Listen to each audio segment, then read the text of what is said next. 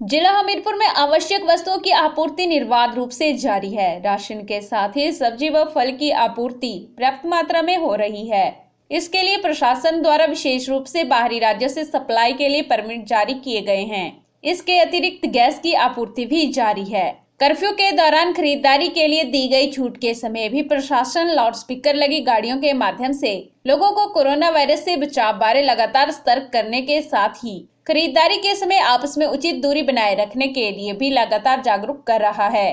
खरीदारी के समय वाहनों पर पाबंदी लगाने के बाद भी जगह जगह नाके लगाकर सारी व्यवस्था को जांचा जा रहा है। इस दौरान तहसीलदार हमीरपुर राजीव ठाकुर, जिला खाद्य आपूर्ति अधिकारी शिव कुमार जहाँ मूल्य सूची व मूल्यों पर बारीकी से नज़र रखे हुए हैं, वहीं सदर थाना प्रभारी संजीव गौतम टीम के साथ कानून व्यवस्था को लेकर मोर्चे पर डटे हुए हैं। पीआरटीवी के लिए हमीरपुर से ब्यूरो रिपोर्ट।